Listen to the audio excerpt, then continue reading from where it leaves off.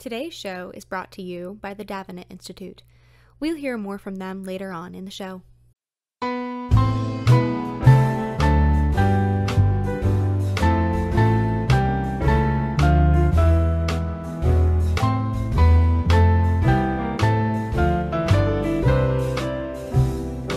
Welcome back to the Irenic Protestant Podcast, a bi-weekly show where we strive together for the knowledge of God, His Word, and His world, the lens of the classical and confessional Protestant tradition.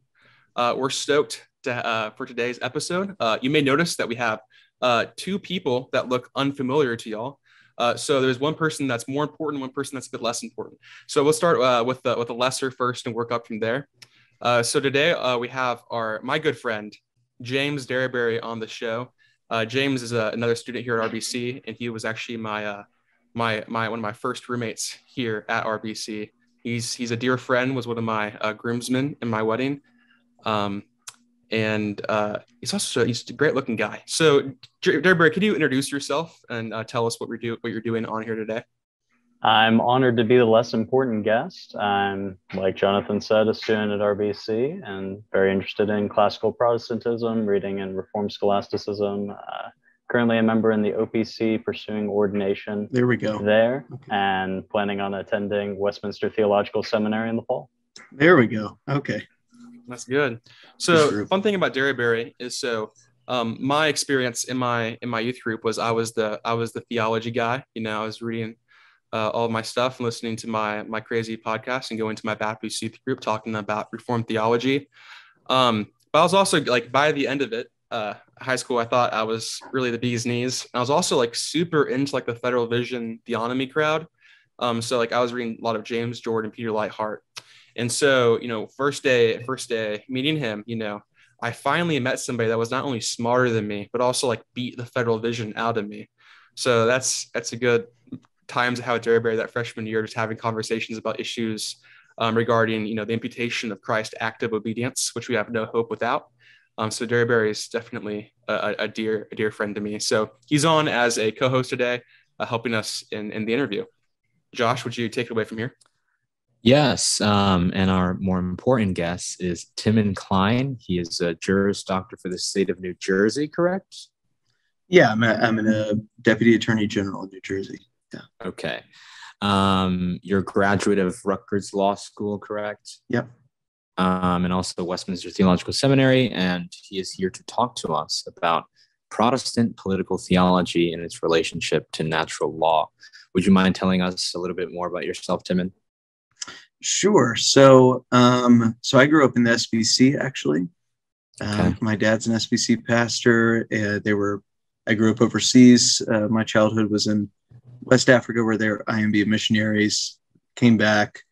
Um, so I was in the SBC until I don't know four four years ago or something like that. Wow. Um, so I'm in the OPC now. The OPC got me when I was at Westminster. Um, I moved moved out to this area to do law school, and uh, ended up doing seminary along the way. Uh, so I finished both those up in 2020, right during COVID stuff which is pretty anticlimactic. But uh, yeah. they basically one day just told me not to come back, and that was it. Um, so yeah, so now I just work as a as an attorney, but I, am also a fellow at the Craig Center um, for the Westminster Standards at Westminster Theological Seminary. Uh, it's run by Chad Van Dixhoorn, if you guys are familiar with him. So I'm doing mm-hmm. some work there this academic year on uh, mainly on Thomas Goodwin, but it's part of a, a larger project on Puritanism and natural law. Um, so yeah, I live in Philadelphia. That's pretty much it. Married, awesome. no kids or pets. That's it. That's awesome. Nice. Well, to, to begin our discussion today about uh, natural law and Protestant political theory, could you give us a quick uh, definition for natural law and what you mean when we say Protestant political theory? Sure. So, um, natural law, uh, I, I, think that if, if you guys have, are familiar with, um, I think it's, I'm going to forget their names now, David Haines, Andrew Fulford, Fulford, I think it is. Uh, their primer that they've put out with Davenant recently has really good, um, you know, we, we can do kind of a, a, a Thomistic definition, but theirs is, is much more suited to us.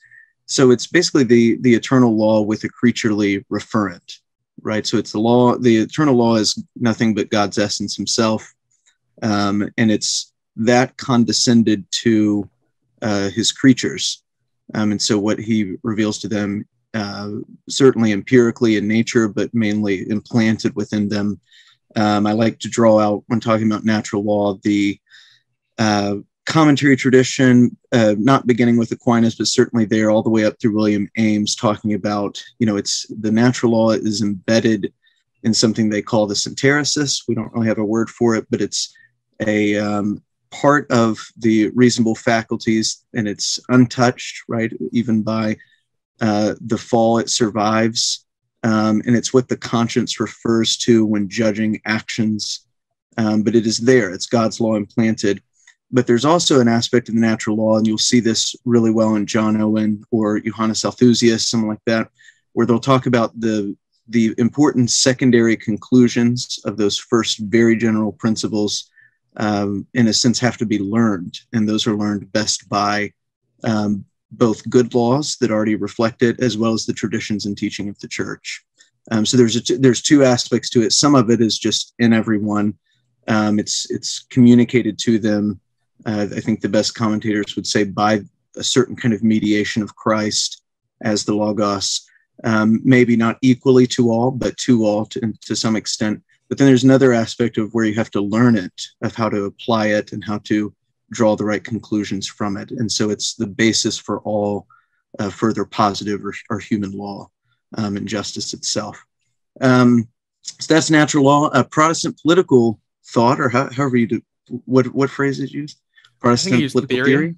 Okay, same difference. Um, you know, maybe a bit more uh, squishy on how we how we want to get there, um, but I would say it's simply you know, uh, to, you're not supposed to use the same words within the definition, but it's political thinking um, informed by um, you know not only Christianity but a distinctly Protestant Christianity, and uh, bringing your theology to bear on um, the art of living together, as Althusius would put it, the symbiotics of uh, what make up society, and um, determining how we are to interact in accordance with um, justice both to each other and justice to God. That's that's really helpful. Um, and I think to like give background for part of this conversation too is you know the standard education that I think most people have received in the public education system is that you know well this Protestant movement is one primarily concerned about you know soteriology and scriptural authority and mm-hmm. those sorts of things without realizing there's like a whole protestant project for society mm-hmm. um, and i think that's what we're getting at with the idea that you know protestants they weren't just trying to reform the way we do church they reform the way how we do society as a whole and how we how we live together um, mm. so yeah that's that's super helpful yeah I really appreciated that you brought up the distinction between primary and secondary principles. Um, I'm part of the URC, so I'm not OPC. So a lot of the stuff that I read is just continental stuff. Um, Franciscus mm-hmm. Junius, who mm-hmm. you mentioned in your lecture at the Davenant Institute that you didn't know that Francois du Jon and Franciscus Junius was the same person. I was in the same boat. I was like, I thought there were two different people. Yeah. Um, but Johannes Polyander in his disputation on, in the Synopsis of Pure Theology makes that same mm-hmm. distinction. Mm-hmm primary and secondary principles. So I guess a question that I have, um, and I guess just narrowing our definition since we're Reformed, so it's Reformed Orthodox um, Protestant political theory. One of the points that you brought up, not that you brought up, but over text, is that you want to distinguish from Luther's view of two kingdoms. But the hmm. idea of two kingdoms, obviously, with the work that David VanDrunen is doing, you know, doing great stuff, just getting um, Protestant lay people acquainted with the conversation that the Reformed Orthodox were having. But obviously, I disagree with his conclusions, just as two spears, two sphere stuff. Um, can you talk about what is the twofold reign of Christ and what influence does that have on the Reformed Orthodox Protestant on their political theory? Yeah, so this this is a big topic, right? Because we're dealing with not just the ideas themselves, but reception and then not only reception but our you know however many degrees of separation we have now uh, in the 21st century and i think um, i think it's robert kraus in his book uh, two kingdoms and two cities talks about how all of our political thought, uh, certainly political theology now is, um, you know, kind of mediated through the post Christendom that that we now occupy. Um, and that has not only become descriptive, but now uh, prescriptive and um, you know virtuous to a certain extent. Um, so the problem with a lot of secondary literature you'll read now about you know what Reformed or Protestant political thinking is is conditioned by the the place they're in, which is in, inevitable. But I think um, some of the the curation of the source material is skewed and then some of the reading of, of the source material that is used is skewed. And that wouldn't even include luther.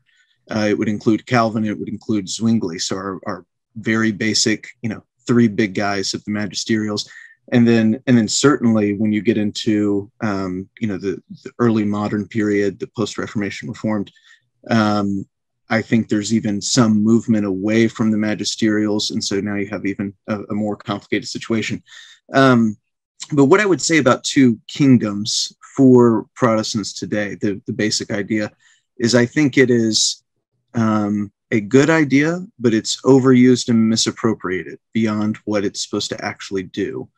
Um, so I think the predominant um, position you'll encounter amongst even even fairly you know well catechized, generally informed Protestant people um, is that this somehow, the two kingdoms idea uh, somehow corresponds to church and state. Um, and that's simply not the case in the, the, there's good secondary literature over the past uh, couple decades that demonstrate this in Luther, but you can read Luther himself, and that's simply not what he's really doing. First of all, two kingdoms for him is a um, I think William Wright makes the point like a, a, worldview. I mean, it's doing much more than talking about uh, social order um, but it does have implications for that. Um, and all he establishes is essentially a you know visible and invisible realm distinction, a duality there, um, where the the invisible or the purely spiritual is directly governed by God, and that's in man. But then in the external realm, he situates both church and state, right? So this is all of human life, all human institutions and authority. And Calvin does the same thing. The church is within the external; it's in um, the the temporal, if you like, uh, and Zwingli is perhaps even stronger on this point. So um, I think there's a lot of misnomers out there with with Two Kingdoms and misuses um, because we take it, to, we kind of import it into exactly the uh, demands of current debates and try to use it to satisfy that. There's certainly plenty of material in our tradition to address the, the current debates, but it, you can't just do the, this one to one kind of uh, comparison. Um, so, what I would say is when you get to um, the actual questions we're interested in, which are aspects of social order, they're not questions of is there an invisible, purely spiritual realm where God is total Lord over the uh, you know man's internal life and he owes all of his duties to him. That's great. We all agree about that what do you do when you're talking about organizing uh, a polity? Um, and that's much more um, granular, but it is uh, certainly addressed by uh, the, the Reformed as, as, well as Luther, but I think we can even get better than that. Um, and what I would say before, I won't go more into it until we uh, discuss, but I would say that the, the Reformed, the, the Protestants coming out of the 16th and 17th century are in, almost entirely conventional. They're making slight Protestant adjustments uh, in terms of authority um, and how that's going to look. You have the emergence of the, the real questions in the 17th century are between Erastianism and what we would now call uh, integralism. That's not a term they use, but it's only a question of which of the two powers is supposed to be uh, prioritized. And that's really the only debate. The rest of it is entirely conventional. And so to to try to get in touch with our tradition, you do have to step back behind modern innovations in political science or thought um, and try to get into the, the situation that they find themselves in um, and how they generally view society, which is um, the, the best phrase for it is, you know, there, it's the Christian communion. That's your starting place. And then your various powers, however you're going to delegate or distribute labor, are two species of the same genus right so there is it's a very organic view and we just don't think this way anymore so this is part of the our difficulty in in getting into um, our tradition, but it, it can be right. done. The source material is all there. So, so um, let's talk about uh, the the let's start about start, sorry let's talk about starting like a, a society in a social order. Like, mm. what's the end of of civil government? What's the end and mm. purpose of a magistrate, and how does that affect the end yeah. purpose of a society as a whole? Yeah. So you know the the first premise you should have um, if you're if you're reformed uh, if you're generally christian up until like yesterday is that government is good it's not just a restraining mechanism although it does do that um, but that even in in paradise there would have been something like government because you have reasonable creatures that relate to each other and uh, you need some uh, th- this is an ordered relating right? So this is part of um, even what adam is establishing. And so you would still, even if we were in paradise, need to have traffic laws, right, to govern the that they can be considered arbitrary, but you need some kind of governance of how we move about uh, as to not harm each other or something, you know, that rudimentary. But you're, you're going to have something like government because this is a reflection of God. So it's not just a result of the fall. It's not an unnecessary evil. It's a good. Um, and so then you have to talk about, well, what is it, uh, as you said, what is it ordered to? Um, and we'd say both both powers, both the spiritual being the, the church and the, the temporal being the state, are both ordered ultimately to the glory of God. They receive their um, authority directly from God, therefore they have to be ordered to His justice and honor um, and His glory. Um, but they they have distinct immediate ends, right, in the here and now. And the government is going to be uh, focused uh, primarily with man's temporal good um, the common good of uh, all that are, are, contemplated by the rule of a given regime. Um, but the the key here is that man is not just flesh and blood; he's also a soul. He's body and soul. Therefore, the magistrate necessarily has some kind of concern with also his inter- eternal end, with his soul. Otherwise, he's not governing men. Um, and this is something Vermigli takes up, where he says, you know, if we're going to say as some people do, that secular, he puts it in square quotes as, and puts a parenthetical, as some people say. Um, if you're going to go, the secular authorities that have no concern over um, man's spiritual end, man's soul, then they're no more than a, sh- than a uh, I think calls him a pig farmer. He's an archaic word for a cow farmer. He has two things. So that, that meaning they're dealing over with soulless things, things that are purely temporal. But we know that's not the case. Therefore, the magistrate has to have a concern for the the highest good also of all of his people. That may be it's it's not um, immediate for him. It's it's a uh, this is primarily going to take the form in most uh, commentators of saying you've got to therefore up, uphold and support not only true doctrine but the church that promulgates it. Um, so it can't it can't do it alone. He can do it by his example as well um, but this requires then the church. If the magistrate is charged with the soul of men, but that's not directly his uh, within his competency, therefore he has to have something to do it for him. Um, so you're going to support the church. You're going to promulgate laws that uh, reflect its doctrine or support its doctrine, um, and this is how you're going to get at caring for the souls of your people that you're that, that God has charged you with. Uh, that's that's really helpful. What about um, suppressing false religion? So you know, mm. original mm-hmm. 1647 uh, chapter on civil magistrate in the Westminster Confession does talk about it's also the role of the state to suppress false religion. Yeah. What do you what do you think about that? Yeah, so this is this is very standard banana stuff in the the Westminster Confession.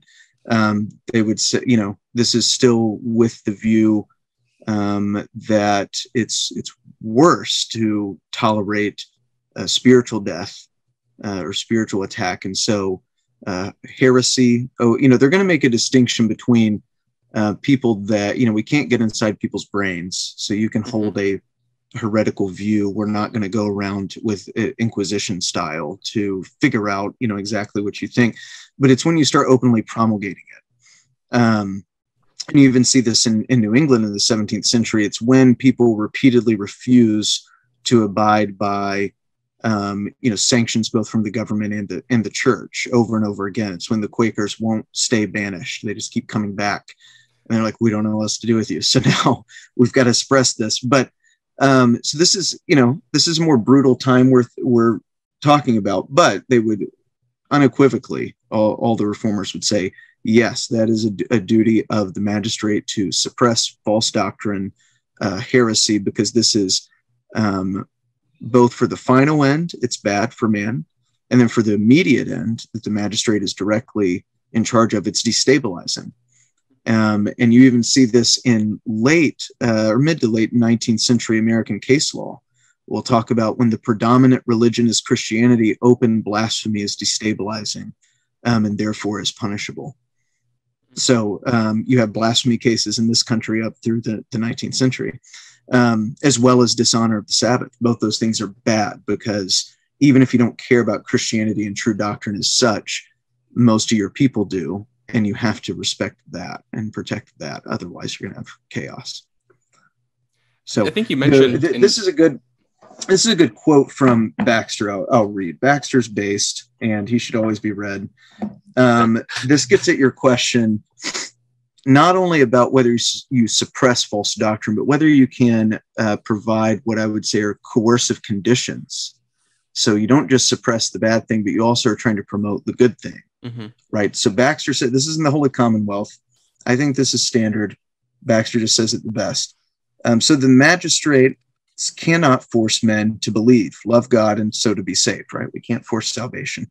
Yet they must force them to submit to holy doctrine and learn the word of God and to walk orderly and quietly in that condition till they are brought to a voluntary personal profession of Christianity and subjection to Christ and his holy ordinance. So Baxter's view is that um, you know, you can't, of course, force people to have genuine faith. Uh, what you can th- do, though, is make it very, very difficult to, to act any other way.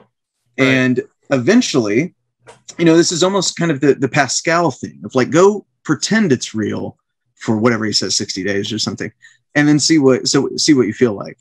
Um, so he's saying, you know, this is, um, and I think the, the main point here for uh, Protestant political thought is all of this, first and foremost, is a matter of duty and justice to God. So it's not about can we immanentize the eschaton. It's not about can you forcibly convert people.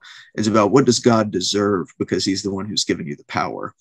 Um, and you're supposed to be caring for these people. And if true doctrine is true, true doctrine, you have to both protect it and promote it.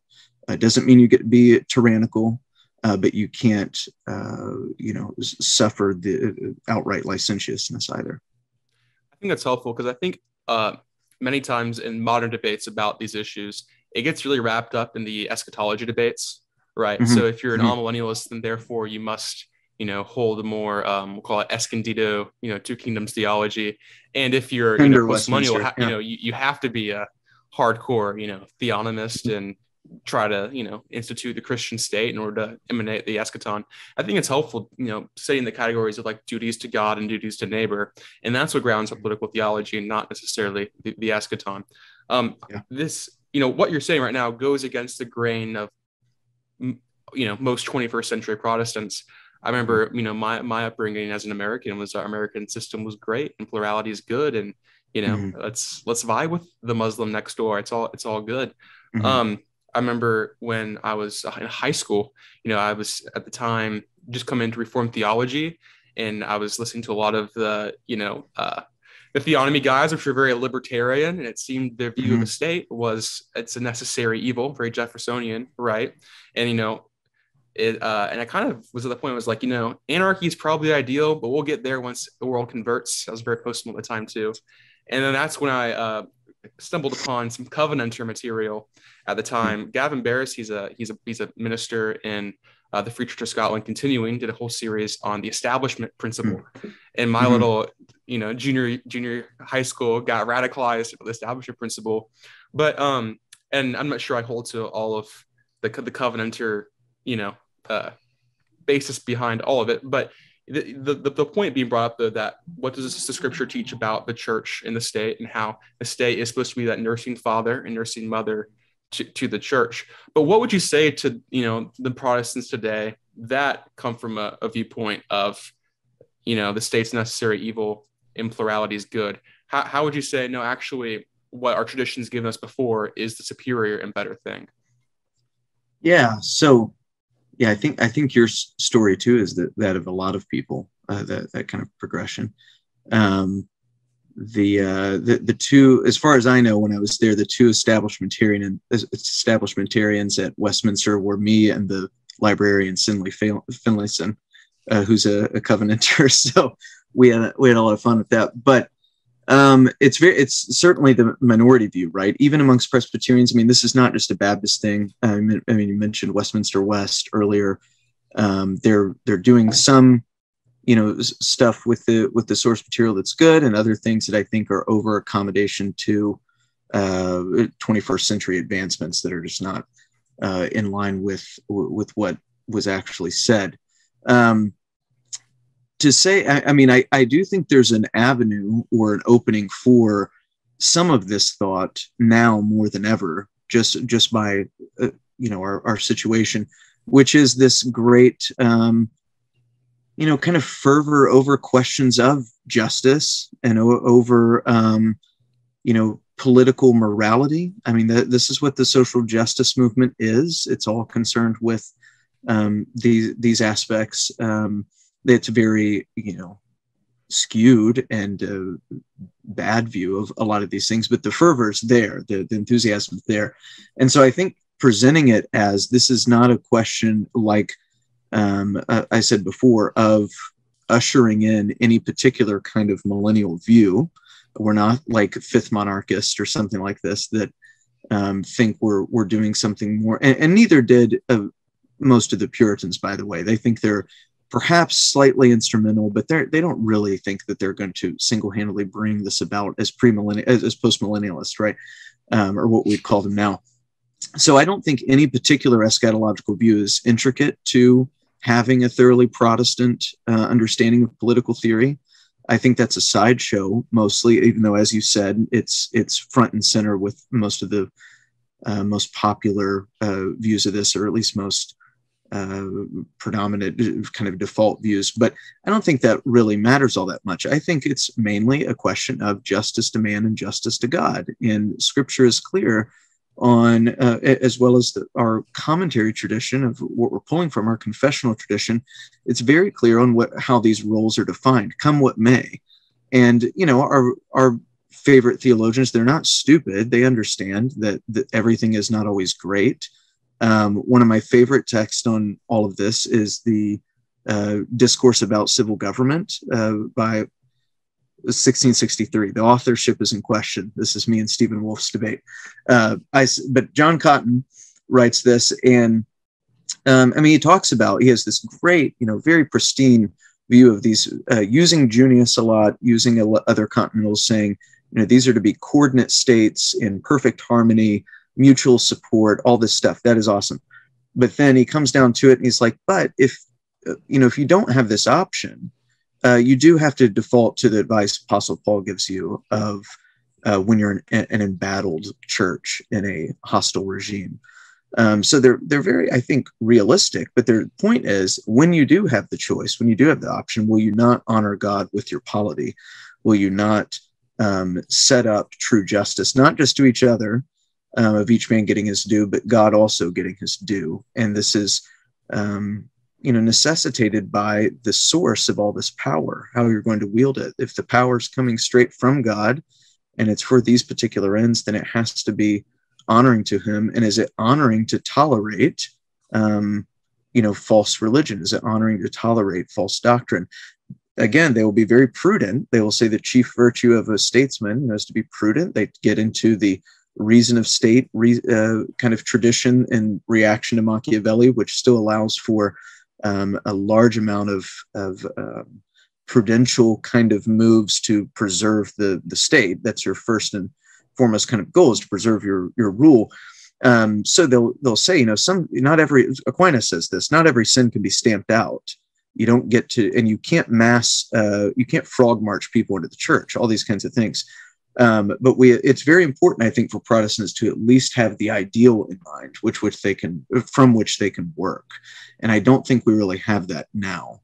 I don't think we have a coherent vision for what good social order is, um, even though it's it's sitting there. I mean, all all the stuff I I pull from is all facsimiles in English online, right there.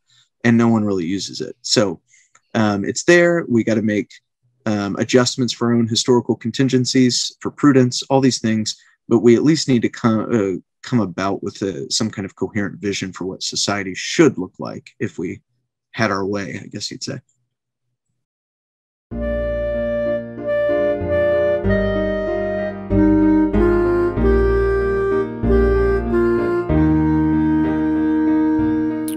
Richard Hooker is often known as the father of Anglicanism, but his is a legacy that demands to be claimed by all Christians, and especially all magisterial Protestants. His magnum opus was the Laws of Ecclesiastical Polity. At the heart of this work is Book 5, which is dedicated to a point by point defense of the Reformed Catholic liturgy of the Book of Common Prayer. Although more than four centuries old, many of the issues that Hooker addresses here like the role of music in worship, the importance of visible symbols to accompany the spoken word, and the pros and cons of written prayers, remain as relevant as ever in intra Protestant debates over worship and liturgy. And at the center of Book 5 is one of the most beautiful and powerful little theological treatises in English speaking theology, as Hooker gives his account of the Christology and sacramentology that should undergird our worship. This summer at Davenant House, join Richard Hooker scholar Dr. Bradford Littlejohn for a deep dive into the riches of this classic text. During this five day intensive course, students will read through the entirety of books 4 and 5 of the Laws of Ecclesiastical Polity, in which Hooker gives his defense of English public worship. Students will also discuss key passages in depth with an eye to historical contextualization and contemporary application. And of course, every day will be framed by a celebration of morning and evening prayer according to the 1662 Book of Common Prayer, so that we can not only learn about the liturgy, but live the liturgy together. This summer intensive course and a few others will be hosted at the Davenant House, the Davenant Institute's beautiful campus in Landrum, South Carolina. The early bird cost for this course, if you sign up before May 13th, is $375, which includes airport pickup, meals, and lodging. If Richard Hooker isn't your thing, then check out the other exciting summer intensives at davenanthouse.org. Davenant Hall is a refounding of the ancient university for the digital frontier, grounded in the wisdom of the classical Protestant tradition. That's helpful. That's helpful. Yeah. Were you going to say something, Jonathan? Oh, I was gonna I was gonna say James has been brooding there for a second. Looks like he's been thinking, but yeah. go, go ahead. Actually, I have been thinking, yeah. So I have a question okay. earlier when you were framing yeah. the debate of early modern political theory. You said the two options were really between Erastianism and then bringing in this mm. modern term of integralism. Could you expand a bit on the distinctions between a Romanist political theory in mm. the early modern period as opposed to recent Roman Catholic integralism and any sort of Protestant integralism, early modern or contemporary? Yeah, so let me let me do it this way somewhat. Um, I don't think the distinctions are as big as would would usually be assumed. And I'm quite happy, just like a good early modern, just like your Samuel Rutherford or whoever you like, to rip off Jesuits or whomever we can find for stuff you like and just take it. Mm-hmm. You, that is our prerogative. They don't get to do that. We do. Um, their their uh, allegiances preclude them from ripping off Protestants. Ours don't. Um, so if you look at early modern sources, they're fine. This, this is something Mark Jones, who I did a seminar with, always says. If you're an early modern scholastic, you can cite Gandhi, Mother Teresa, whoever you want, as long as it's good and true and useful, and just make your distinctions. Uh, you know, George Gillespie does this great text in Aaron's Rod. I mean, he makes concessions to Arminians, and he's like, Grotius is right about this. You know, whoever's right about that, they're, he'll make his footnote if they're wrong about this other thing, but they're absolutely right about this. So I think there's um, per usual, at least since the 20th century, the Catholics have beat us to the punch on many things, bringing back um, pre-modern ideas into political thought. And the integ- the modern kind of integralist uh, uprising enthusiasm, what do you want to say, is, a good example of that, of where um, I don't think it's a distinctly Catholic view. Of course, you make your adjustments. We don't have a supreme pontiff in, in, in, integral to this uh, this vision, but they're basic ideas of, you know, um, what, what would they say? So you know, man, uh, his his final end is not detached from you know our political considerations. These kinds of ideas, um, those are just pre-modern. These are these are they don't own these ideas, um, and you find them all throughout um, early modern uh, reformed scholastics or whatever you want to call them. Um, so, but one thing I would say about what the reformers do in the 16th century is I do think, even though they are um, continuing to use very conventional ideas about social order, I do think that they are returning to the Pope Saint Gelasius's, uh, you know, Duo Sunt letter, the two powers, the two swords, um, in the whatever it is, fifth century, sixth century. Um, that basic formulation, I think they're returning to that and over and against the innovations made by Boniface much later, which invested in the church, at least originally, both swords, both powers, which are then delegated to the civil power or the, the temporal power, therefore always capable, at least in theory, of being recalled or directed or whatever. So the state is always exercising its coercive power on behalf of the church and this kind of thing, right? The the reformers, I think, self-consciously reject that. They don't like that. But what they're going to say is both of these powers get their power immediately from God and they're not dependent on one or the other. But since they both get it from God, they have to somehow um, coincide. They, there can't be an antithesis, a radical antithesis to get the Van Tillianism in there. Um, this just can't be. That that's ridiculous. There has to be some um, way to accomplish harmony, at least in theory. Um, so I think they're doing that. I think they're return, and, and, this is not just me saying this. Other other scholarship says so. Um, I think they're they're they're skipping back over again a lot of what the reformers are doing in many areas is rejecting late medieval innovations that they're bothered by.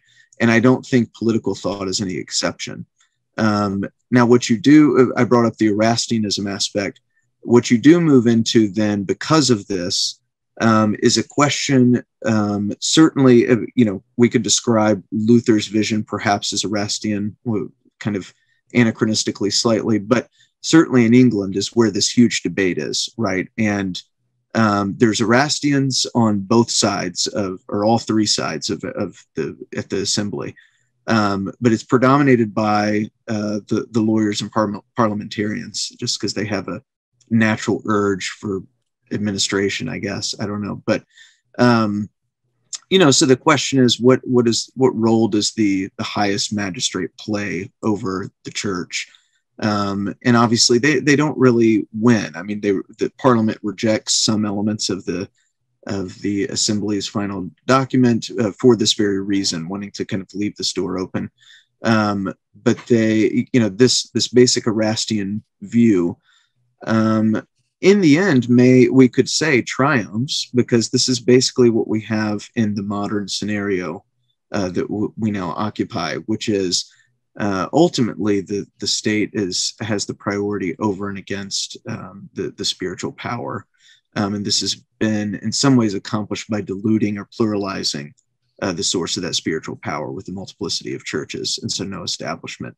When you have no establishment and you have a highly individualistic religious religious liberty maximalist view, uh, that's inevitably what happens. So the the integralist project, in terms of the the uh, the spiritual power being highest and prioritized, just as in the body soul analogy, um, you know, it would be very difficult to accomplish. But I think it's useful for recovering early modern uh, or pre-modern ideas about how these things should be organized. And I think even within um, Protestant regimes that actually existed, there's still a sense of subjection of the temporal power to the spiritual and you see this through the laws, right? So if um, the problem is with the Escondido guys, where they want to bifurcate the the tables, right? Bifurcate the Decalogue, which no one ever mm-hmm. did before.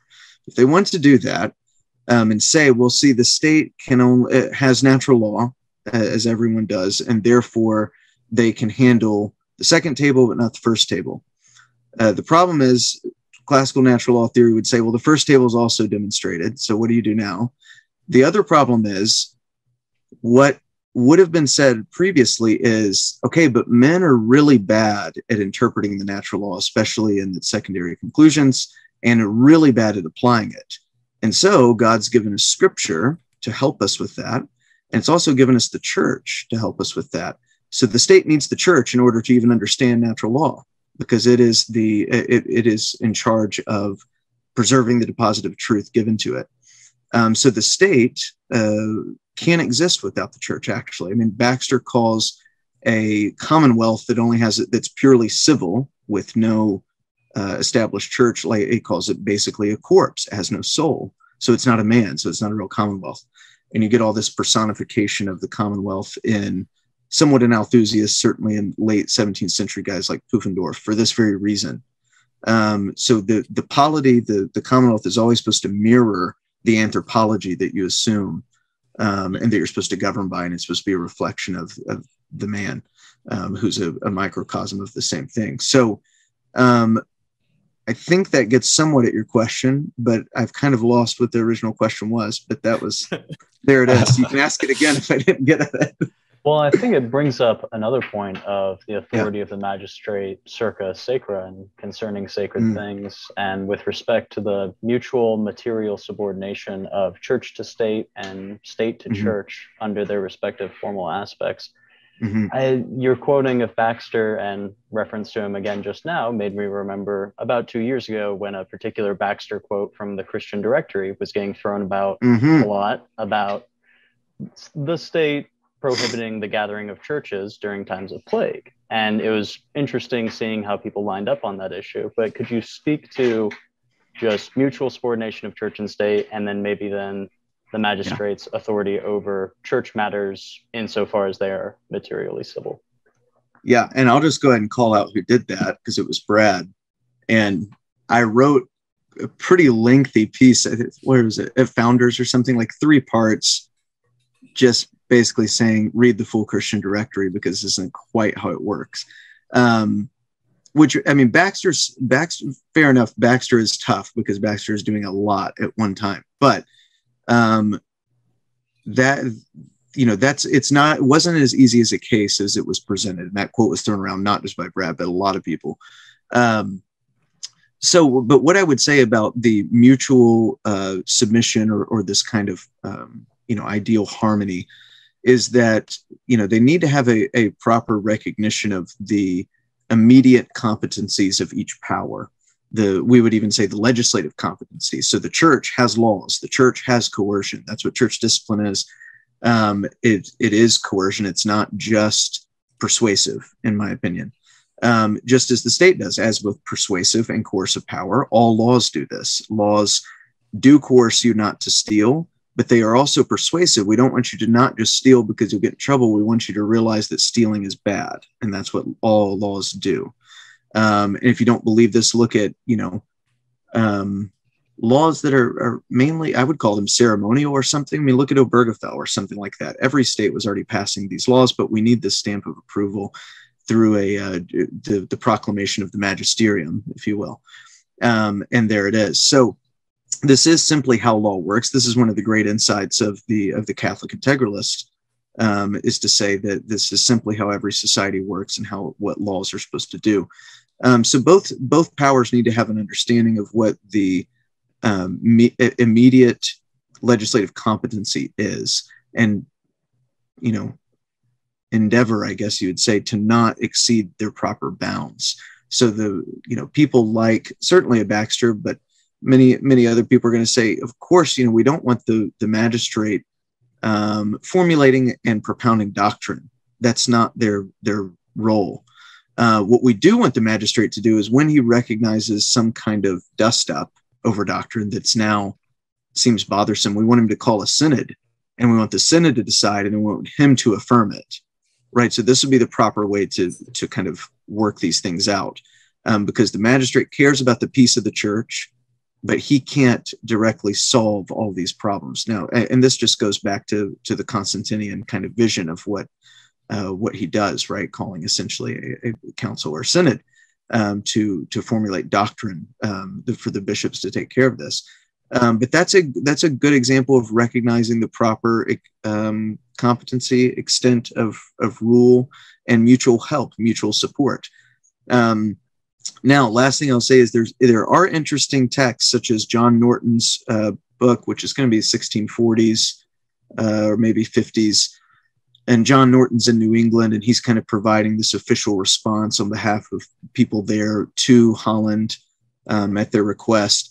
And he gets into this issue, and he says because he believes in this Christian communion and believes that they're um, th- this mutual, you know, kind of coordinate support um, he says there there could be hypothetically a scenario where the church becomes so corrupt the magistrate has to step in and and restore it to its last like point whatever that is of of good doctrine and purity and vice versa.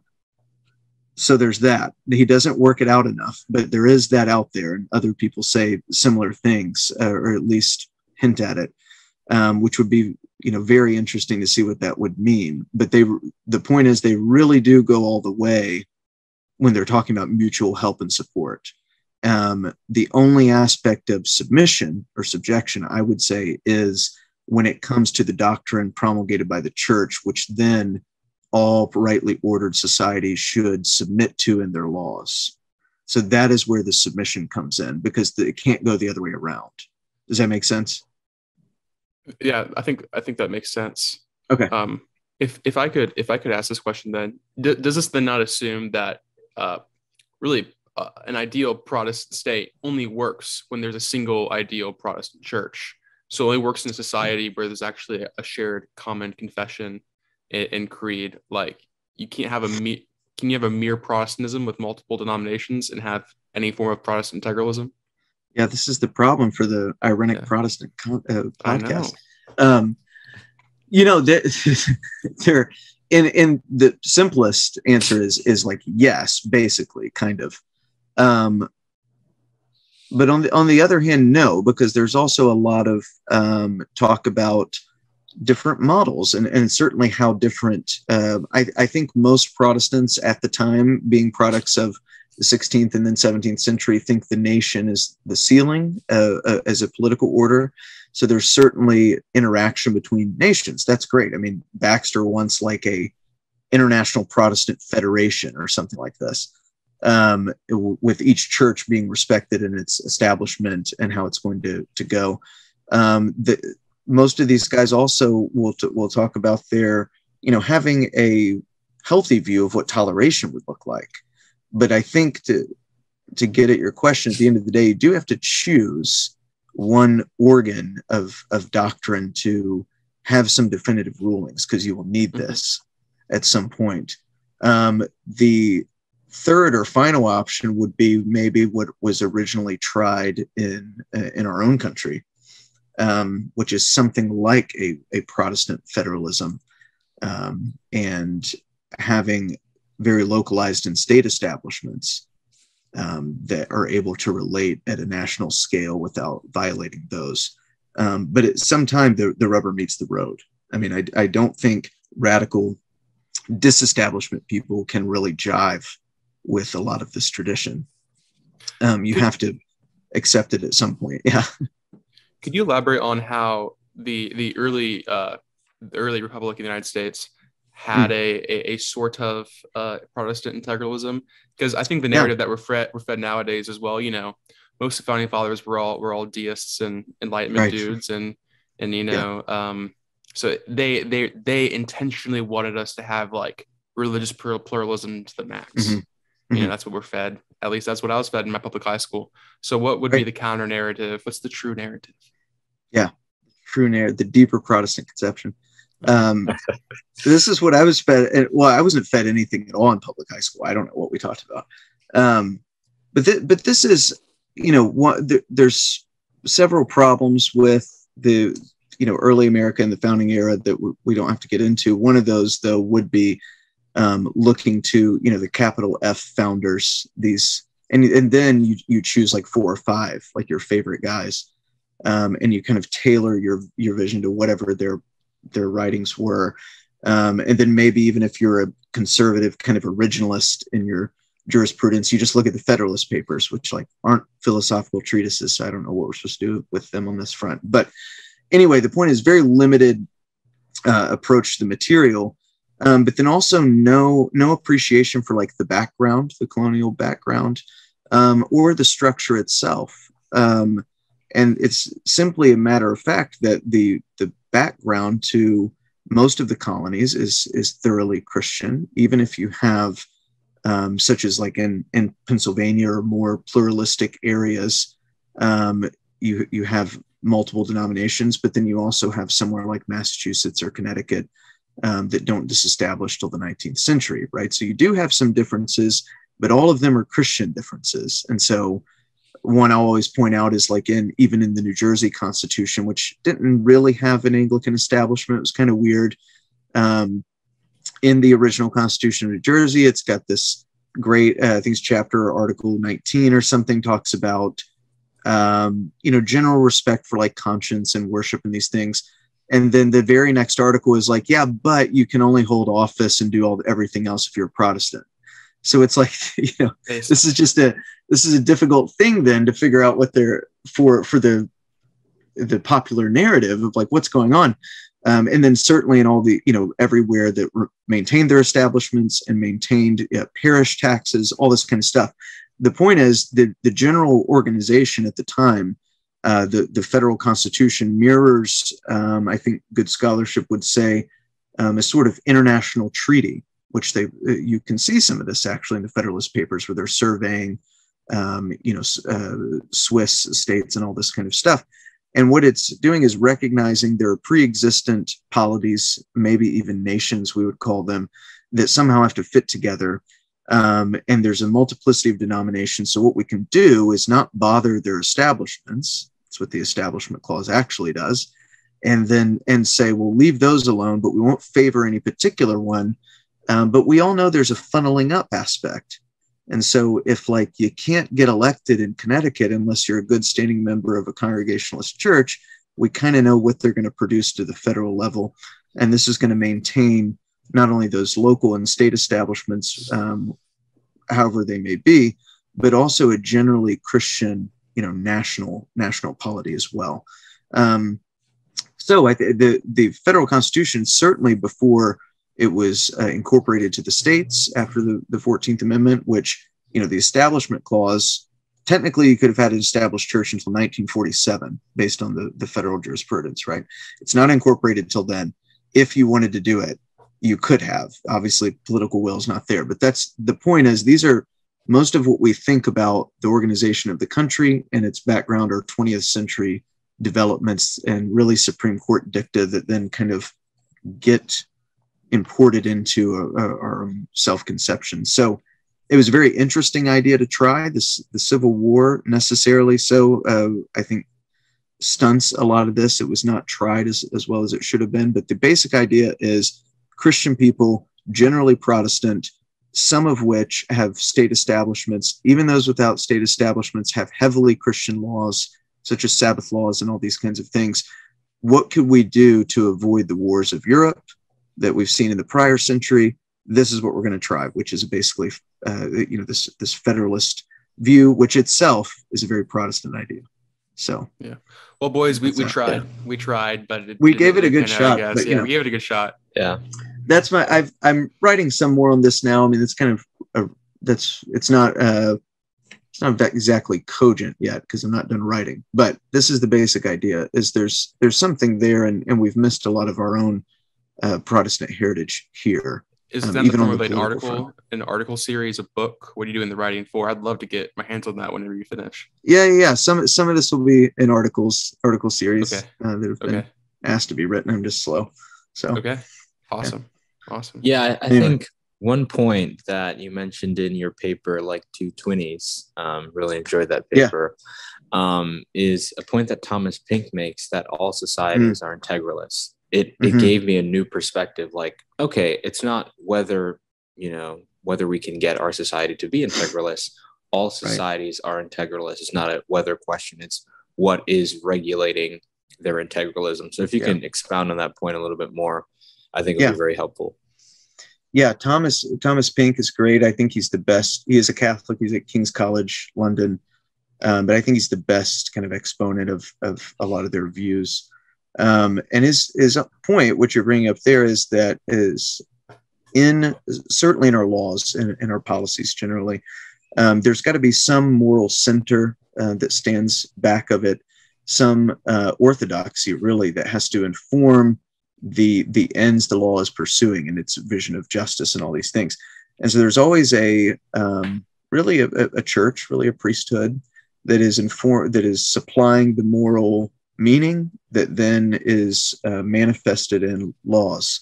And this is just inescapable. This is how people work. This is their um, this is what societies are really for. I think um, something I wrote the other day at American Reformer was pulling from Nathaniel Chipman, who's a uh, guy in the early republic here, but he has this great bit about how the conscience itself, us being reasonable creatures with a desire for justice, we need other people to have this idea of approbation, to have this justice.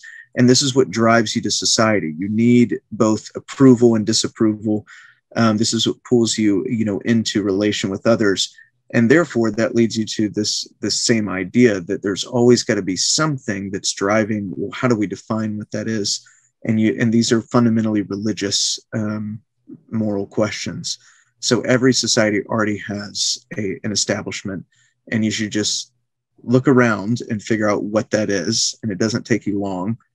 Um, mm-hmm. so the the the kind of frothing at this idea that there is a, there's an establishment would be good and that a fully integrated society where church and state relate well that that reaction to that is just a reaction from the the liberal myths that have been promulgated for you know a hundred years about this uh, this possibility of, of pure neutrality um, and a pluralistic uh, you know Jeffersonian kind of existence that even if it was possible, which is clearly not, uh, we were supposed to think it was desirable, um, and that's just not the case. So I think what Pink's doing there is a very realist argument, in my opinion. He thinks it's also normative, but um, is just to point out, yeah, you already know this is is true. Um, so now the only task is to figure out how to what to do about it, what your what decisions you're going to make as a society. Um, I think an, an, example of this already existing wisdom. I think you may have brought this up in your lecture to Davenant on the, the Puritans New England, but like mm-hmm. blasphemy laws, right? Technically, you know, blasphemy yeah. laws don't exist anymore, but they do, right? If right. I right. if I decided to be a teacher maybe in Boston and I was like, hey guys, you know, if you're going to be a man, you have to have an XY chromosome, and that's the way it is. Like, I could get I could yeah. like, get in trouble and lose my job for the public education system because I right spoke the blasphemy and insulted the God of, of yeah. the secular state. Um, so I think, yep. I, yeah, I think it's it's a great point that there has. Well, you guys, you guys are on Florida. You see this now in in your yeah. state, right? This right. is going on right. is a great example with DeSantis, exactly. you know, bill and all this stuff. Mm-hmm. This is a great example of this is this is blasphemy, a blasphemous bill. Mm-hmm. Um, and so so you're going to have a, a massive reaction to it. Uh, it's violating the the central religious core of the polity. This is, you know, the, an argument could be made that everything is actually totally fine structurally in our polity. It's just that the substance is wrong, because that's actually the appropriate reaction to have when blasphemy is is uh, you know espoused. It should be quashed. Mm-hmm. That's just how societies work at some level all the time. Uh, the the only pro- but what we've what we've convinced ourselves in it, even as political conservatives um, is that there's some way around that. And so the real problem is you're not respecting someone's right to hold and promulgate blasphemous views. It's like no so so you've totally missed the ball and uh, other political actors have not and they've made sure to now establish what blasphemy is. Mm. um, so i think that again from our own tradition the, the protestant tradition insofar as it um, talks about these things, which it does, many sources do, it's um, not only prescriptive, but it actually helps you interpret the world as, as it is and just understand this is this is not something to uh, to fight against in itself. What what you have to fight against is the substance, and that's mm-hmm. where the battle is. It's not over the procedural mechanisms, really. Absolutely, that's awesome. Yeah, I think, I think that's, that's, really helpful. helpful. Um, so we, we, yeah, so we actually, we need to start wrapping up now we could, we, I mean, this conversation go on for so much time, but we're coming, we're coming to a close, but I thought I'd give Derryberry another opportunity. If you had anything else you'd like to ask. Um, I think if we're wrapping up on time, I think that's sufficient. Okay. Well, yeah, uh, I have one more question. Yeah. Um, so I believe that our beloved editor, Jonathan McKenzie, will link your work in the description below. Mm-hmm. But who are the guys you mentioned? Baxter, Holy Commonwealth, Franciscus mm.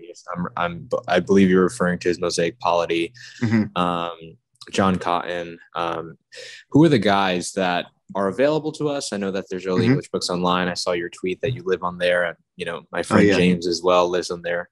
Um, but who are the guys? Who are the sources for those you know watching at home who you know, want to understand what the reform tradition have to say about the civil magistrate, who are the guys you would recommend? Yeah. So in, in the spirit of the podcast, I, I, guess I have an eclectic uh, kind of assortment of of guys I always look to or think that are have really good text. So Mosaic Polity, definitely one. Uh, Junius is not just because it's good, um, and I wrote something using it to, you know, he just anachronistically speaking, totally takes down the theonomic idea for the right reason, right? Which is their view of law. Um, so he's doing that. It's very useful for that. Um, but also just because everyone else cites him all the time later in these contexts, right? Um, and then Mosaic Polity itself is just it's read it's well, it's not all that readable, but it's short, so just give it time. Um, best one of his best lines to wrestle with is you know in uh, it's in the first 20 or 30 pages where he just says it's the you know the job of the magistrate or the king to lead his people to the eternal gates of salvation mm. so people just mm. figure out what that means for yeah. for, uh, for us but mosaic polity is great uh, yes i love baxter's holy commonwealth um, already mentioned cotton um, i've been uh, using for something else i'm writing recently revisiting some vermigli and his loci he has great sections on the Christian magistrate that I think are very representative um, of what other people are thinking and doing. Um, the one I one I finished recently is uh, William Prynne had a really good uh, tract on on this issue. I can't remember what the date or, or uh, title was, but it's, it's something just on the the sword of magistracy or something like that.